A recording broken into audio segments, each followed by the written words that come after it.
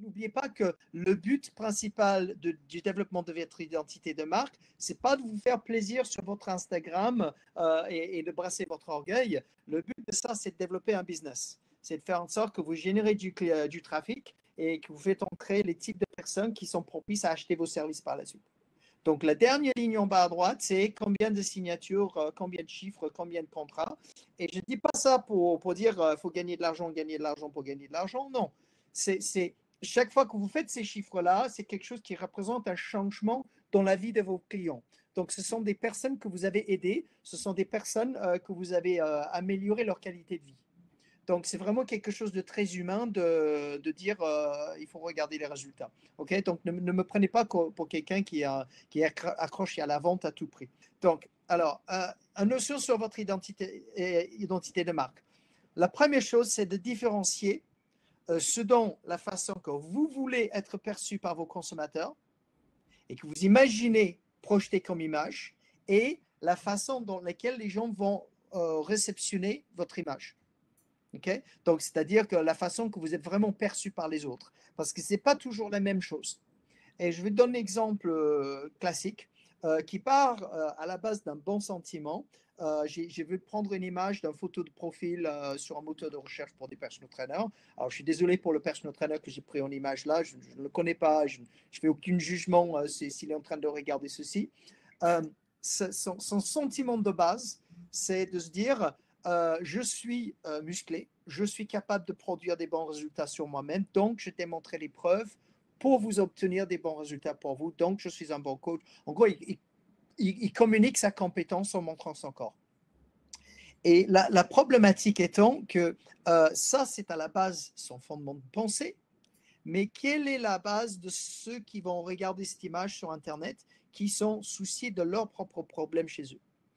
Et malheureusement pour ce coach, les gens, ils vont le regarder avec son téléphone devant le miroir, en train de se montrer à Walpé euh, devant euh, à, poil hein, pour, les Québécois. Je ne sais pas si vous faites du, du verlan comme les Français, euh, Étienne.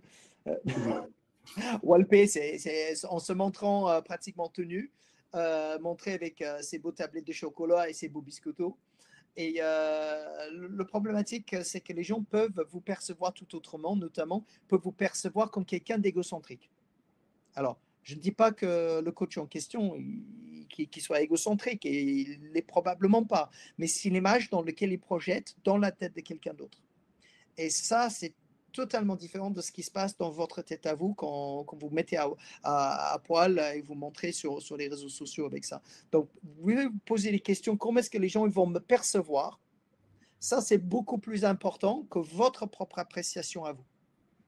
ok? Parce qu'il ne s'agit pas de vous et qui est plus large, même euh, des kinésiologues, mettons, qui seraient en, réadaptation, c'est ultra large ce que tu es en train de dire. C'est de ne pas se montrer soi-même nécessairement, mais répondre, ben, montrer ce que la personne veut voir, en fait. Euh. C'est ça. Et, euh, et, en réfléchissant ainsi, on, on, essaie, on va essayer de se protéger du nombrilisme ou narcissisme que, qui arrive assez souvent.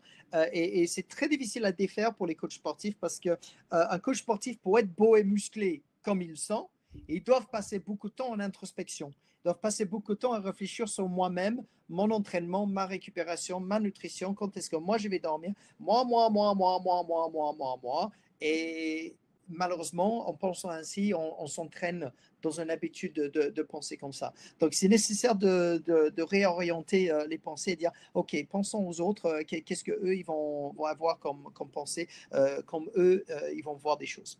Donc, je vais te donner l'exemple euh, d'un développement d'identité de marque euh, qui se raconte dans l'histoire euh, de présentation de Randy Hetrick. donc Randy Hetrick qui est, qui est le président de la marque TRX. Donc vous connaissez tous les, les sangles de suspension qui ont fait une, un succès fulgurant partout sur la planète. et je voudrais que vous vous concentriez sur cinq grands mots. Vous essayez d'identifier ces cinq mots dans l'histoire que je vais vous raconter maintenant. Donc, vous vous concentrez sur vos valeurs, quelles sont les choses qui sont importantes pour vous?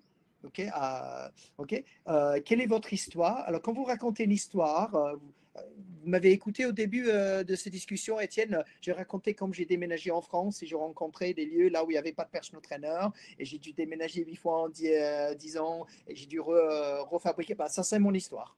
Si vous voulez. Et ça, c'est quelque chose qui vous donne une authenticité, c'est-à-dire que les gens, ils ont une raison de croire que vous êtes quelqu'un de sincère et que vous êtes, et que, vous êtes réel. Et oui, que vous n'avez pas inventé. Oui, parce que comme Yann se pose la question, justement, est-ce qu'on peut quand même communiquer sur soi-même, par exemple en compagnie d'un adhérent ou pendant un coaching? Ouais, euh, ah, alors, alors j'aurais tendance à dire, Yann, euh, si vous allez vous communiquer sur vous-même, essayez de vous dire, dans la, dans la chose que j'explique sur moi-même, à quoi ça va servir euh, mes futurs clients. Parce que si c'est pour dire, euh, moi je suis beau, je suis un champion, euh, je sais faire, je suis le meilleur, ok, bon. mais si, vous racontez un petit bout d'histoire, j'ai pu travailler avec telle et telle personne, j'ai pu les aider à avoir tel et tel résultat, ça c'est le genre de choses. On, on, essaie de, se, focaliser sur les autres un petit peu plus. Donc, vous pouvez rentrer dans l'histoire, mais vous n'êtes pas obligé d'être au centre et au cœur de toutes les images. Donc, euh, euh, vous racontez un petit début de votre histoire, ça vous donne une authenticité, mais passez rapidement euh, aux visions, ok? Quelles sont vos façons de voir des choses, ok? Quelle est la promesse de résultat? Donc, vous passez rapidement au résultat que vous pourrez proposer euh, votre promesse aux gens. Et les ambitions, qu'est-ce que vous souhaitez, euh, où est-ce que vous voulez être dans 5 ans ou dans 10 ans